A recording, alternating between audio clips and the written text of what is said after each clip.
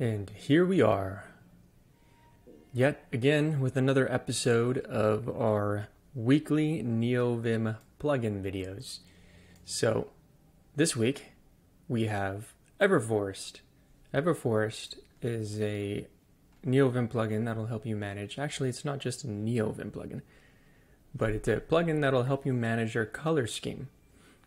And uh, if you'll notice right here on the left, we have our init.lua configurations open, and this color scheme is horrid. So today we're going to go over how to install Everforest, which is one of my favorite color schemes, um, how to configure it, and also how to do certain little changes to it if you want. Um, so it's going to be a quick video today.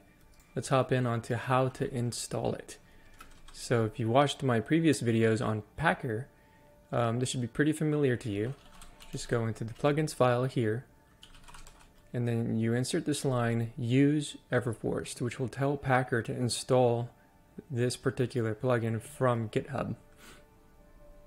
So once you put this line in here, you just do a Packer install, and that'll install this plugin for you, but we're not quite ready to use Everforest yet. You can see right now I have this line in my Vim configurations, but I'm not using the color scheme at the moment. In order to use it, you have to go back into your init.lua and um, you can see in my init.lua, I have a file here that I've commented out for the purpose of this demonstration. It's called color scheme. Color scheme is a very simple file which just runs vim commands to change the color scheme of vim. So in this case, we're setting the Everforest background to hard, Everforest current word to underline, and color scheme Everforest. Alright, so let's go back to our init.lua, and what we'll do is we'll uncomment that, and let's go ahead and reload, or close Vim, and then open it back up again, see what we get. Finally, yes, a decent looking color scheme. It doesn't it doesn't hurt the eyes. Now, Everforest is kind of cool.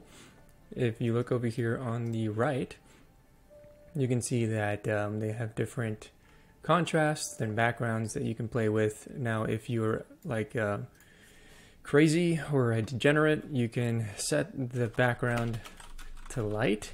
I'm only going to do this very, very quickly because light theme isn't very good to look at.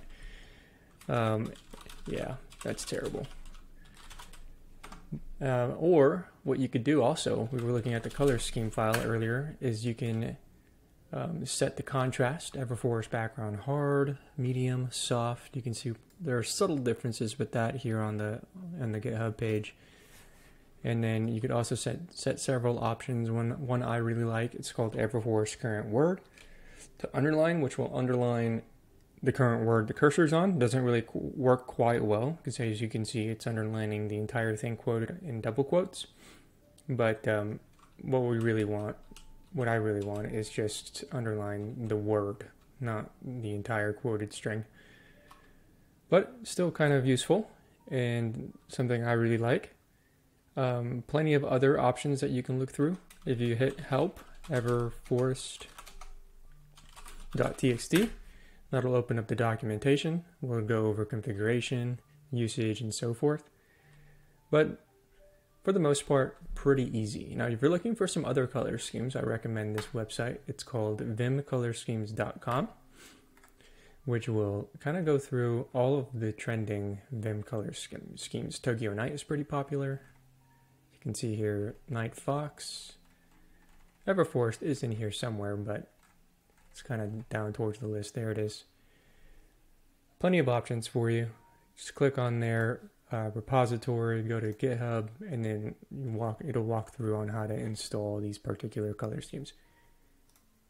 And that is color schemes in NeoVim.